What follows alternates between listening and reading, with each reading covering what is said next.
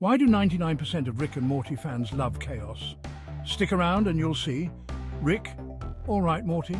Today we're diving into the Omniverse. It's like the multiverse, but on quantum steroids. Morty? Oh, geez, Rick, that sounds terrifying. Rick? Terrifying? More like Morty. Quantum immortality means there's a version of us that survives every possible outcome. So basically, we're unkillable.